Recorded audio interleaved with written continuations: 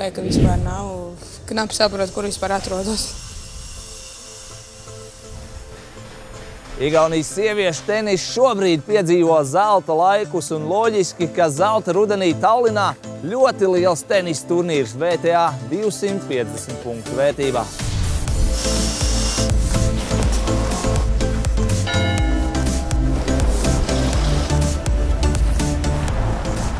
Forus tenisa centrs atklāts 2008. gadā, un tajā ir septiņi iekštelpu tenisa korti. Šajā turnīrā divi tālākie no tiem tiek izmantoti treniņiem. Centrālā korta tūmā mums jābūt klusākiem. Šeit notiek visas galvenās spēles, un tai ietilps divi ar pusi tūkstoši līdzjutēju. Šis mākslas darbs ir Tallinn Open simbols, un igauņu mākslinieks to radījis no stikla. Blakus centrālajam kortam to var aplūkot jebkurš apmeklētājs, kurš vēlas mazliet atvilkt elpu no tenisa. Šī ir skatītāja zona ar ēdināšanas un izklaides vietām un, protams, ar lielu ekrānu, lai neko nepalaistu garām. It's a combination with a great timing and a little bit of luck of, uh, you know, positioning everything with a crisis in, in China and also situation in, uh, in Russia. Uh, kind of a gives the opportunities uh, to, to have a tournament here. It's a Moscow tournament license we are using, uh, which is uh, downgraded from 500 to 250. It's uh, nothing, no connections with the Moscow or, or any organizing team from, from there. Aliona was the first kind of uh, player who we thought that we, we need to have her or well, she should play. Yeah, of course, we, we expect uh, Latvians to, to travel to Estonia and to Tallinn and and also it's kind of a home tournament for them as well.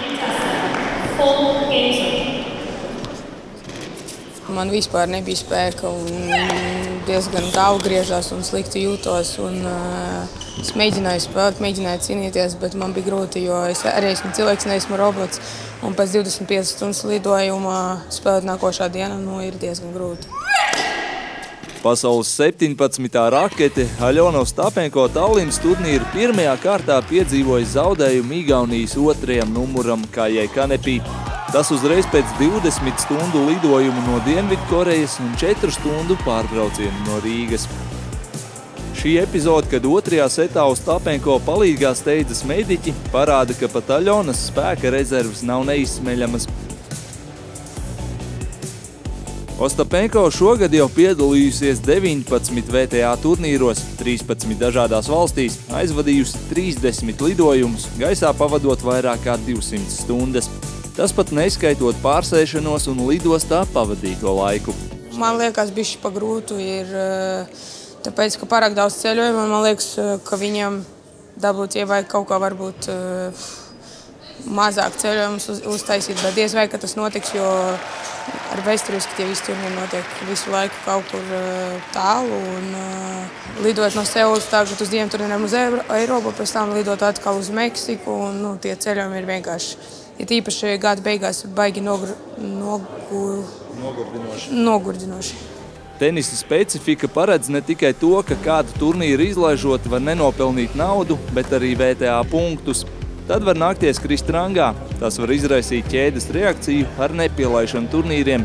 To neviena spēlētāja nevēlas pieļaut, tāpēc kalendāram gribi negribi jābūt blīvam. Ļoti svarīga ir blakus esošā komanda. Jā, trīs cilvēki - mamma treneris, fizioterapeits un fiziskās sagatavotības treneris. Jā. Bez fizioterapeita nav iespējams, vai ne? Šo nu, izdarīt. bija iespējams Seulā, bet tur e, baigi grūti bija. Ja kaut kas vajadzēja man aiz, aiziet pie turnīra fizioterapeita, jāgaida pusotru stundu rindā, bija, nu, tas nav baigi forši. Ja mamma ar Aļonu ir kopā visu karjeru, tad otrs treneris ik pa laikam mainās. Tā ir viena no tenisa īpatnībām. Spēlētāji trenerim maksā algu, tā tad ir galvenā, bet no otras puses spēlētāja ir trenera padotā, jo treneris nosaka, ko darīt treniņos, kā spēlēt un kāds ir režīms. Man liekas, ka es jau pusotru gadu esmu ar treniņu, nemainu tik bieži, kā, piemēram, Anglieta Radučānu. Viņa pa gadu kaut kāds astoņas trenerus samainīja, katrs divus mēnešus jauns treneris.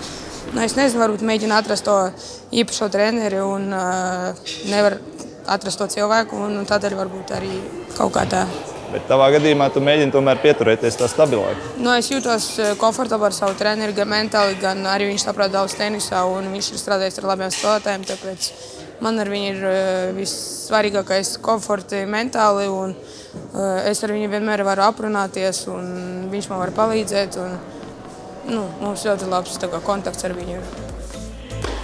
Ja spēlētāji viens no galvenajiem izaicinājumiem ir labi sadzīvot ar treneri, tad organizatoriem tas noteikti ir finanšu piesaiste. VTA 250 turnīra nosaukums pasaka priekšā, ka balvu fonds ir 250 tūkstoši eiro. Small country like uh, like Estonia and also like Latvia, it's not easy to find uh, good and uh, and uh, sustainable partners. So that's why also we believe that uh, local municipality who, who has helped us a lot and uh, also uh, government uh, and uh, private sponsors, it's, it's a good combination to have um, finance, uh, financials uh, in order in a way. Turnīrs norganizēts godam, tiešām. Neskatoties uz milzīgo nogurumu, Aļona tomēr lēma tajā piedalīties. Šeit man vajadzēja atbraukt, jo bija ļoti tuvu mājām. Un, uh, Protams, ka daudz Latvijas eh, līdzjutēji gribētu man redzēt spēlēt šeit, un varbūt vairāk cilvēku būtu atbraukuši sestdien, svētdien, bet es jau zināju, ka man grūti būs spēlēt, un es ne, neko negaidīju, ka es uzvarēšu turnīru, jo es spēlēju finālu, kā es jau teicu, svētdien uz cita kontinenta, un esmu cilvēks, tāpēc, eh, nu, kā ir tā, ir vienkārši gatavs šis nākošam turnīram. Aļonas lēmumu piedalīties Tallinas turnīrā ar aplausiem stāvot kājās novērtēja ne tikai Latvijas fani, bet arī vietēji Igauni. Tā ir pateicība, kas godam nopelnīta.